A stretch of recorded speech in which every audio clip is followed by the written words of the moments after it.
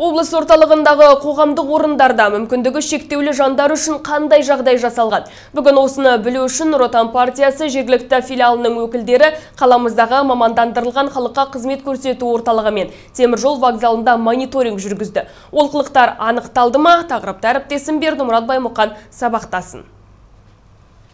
Мамандар бас сұққан алғашқы нысан мамандандырылған халыққа қызмет көрсету орталығы. Мониторингілік топ өкілдері мұнда көліктен түспей жатып ескертулерді тізе бастады. Ғимараттың аумағында ыңғайлы автотұрақ жоқ. Бордюрдің жиегіне су жиналған. Нысанға парар кеспе тастың үсті әбден тозып, үгіліп кеткен. Тут вот э, для того, чтобы сделать бордюрный пандус, э, много ума, извините, не надо. Снять два этих, э, ну, бордюрчики, я не знаю, как они называются, да, вот эти скаты, скаты, вот эти снять и поставить их углом, Я и все. Много не надо, две штуки, коляска проедет. в связи с погодными условиями сейчас вот это все дело тает, и мы это все исправим. У нас даже это Погодные заложено. Ну, у нас вот асфальт сейчас даже, вы видите, оно немножко асфальт проседает, потому что болотистая местность, она весь асфальт, и Хорошо. там сыграла. Ал мүгедек жандар үшін құйылған пандус тіпті қолдануға жарамайды десек те болады. Пара жүзуден Қазақстан Республикасының спорт шебері Владимир Эрманның өзі онымен жоғарыға әзер дегенде көтеріле алды. Өйткені пандусқа мінер тұс тым төмен түсіп кеткен. Және екі жағында да бірдей болуы тиіс темір жақтаулар тек бір қапталдан ғана салынған. Көтеріліп түсуге арналған жолдың өлшемдері де стандартқа сай келмей шықты. Которые стандартные коляски, например, у меня еще активная коляска.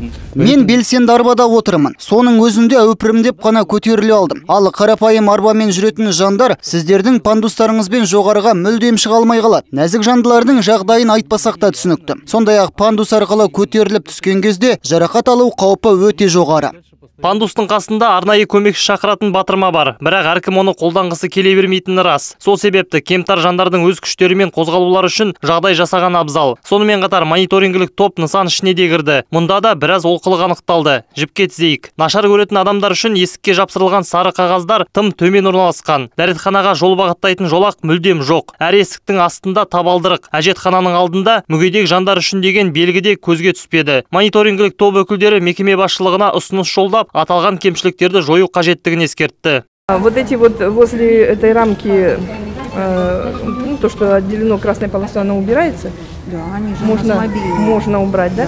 Кейін бас партия өкілдері теміржол вокзалына ат басын бұрды. Мұнда да бірнеше ескертулер айтылды. Мәселен, қол жуғыштың алдындағы темір тұтқа сынып қалған екен. Екінші ескерту біртілділікке қатысты. Лифт, баспалдақ пен дәретхананың жақтауында зағип жандар үшін ілінген арнайы тақтайшада ақпарат тек орыс тілінде ғана жазылған. Яғни мемлекеттік тілде жазба жоқ. Мамандар басшылыққа ескерту айтты. Кемшілік жақын арада түзелуі тиіс.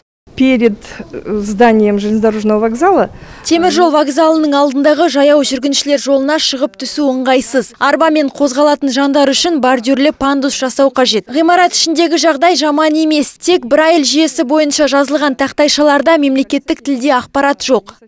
Жалпы Нұр Отан партиясының өкілдері биыл қаладағы жүзден астам қоғамдық орында мониторинг жүргізуді жоспарлап отыр. Мамандар бүгінге дейін 37 нысанда болған. Бердімұрат Баймұқан, Қазбек Арықбаев, муниципалдық телеарна.